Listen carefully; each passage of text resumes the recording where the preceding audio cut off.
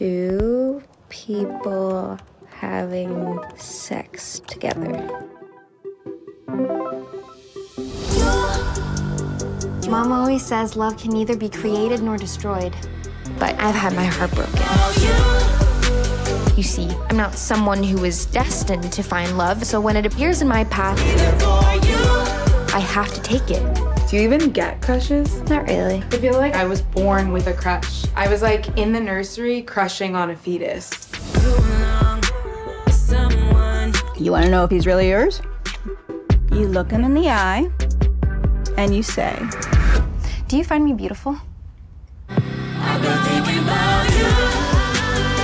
As a dad and husband, that just can't happen. Think you're wonderful, and that's it. Okay, there you have it.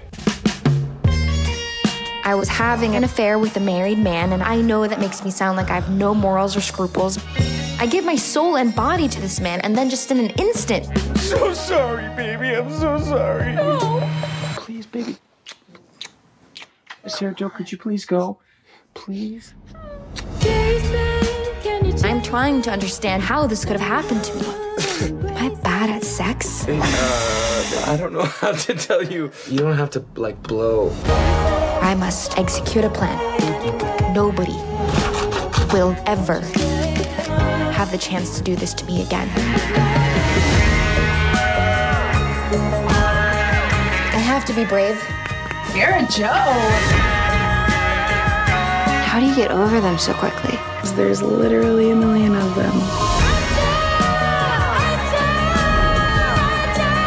Not everyone is perfect, least of all me.